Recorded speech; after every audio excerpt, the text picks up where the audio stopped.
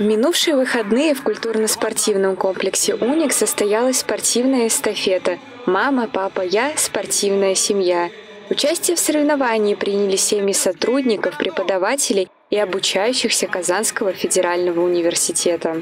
Это всегда теплое семейное мероприятие, которое объединяет все университетское сообщество. И в этом году, так как сняли все ограничения, мы решили возобновить проведение такого классного спортивного мероприятия для семей сотрудников.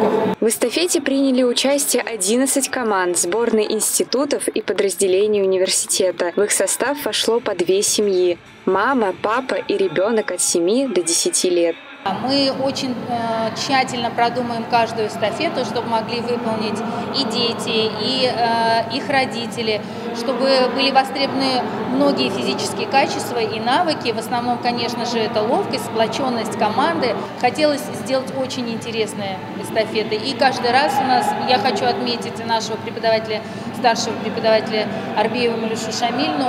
У него такая фантазия, мы очень благодарны за эти эстафеты ходе соревнования каждая команда прошла по три полосы препятствий. Все задания были подобраны так, чтобы с ними могли справиться как взрослые, так и дети.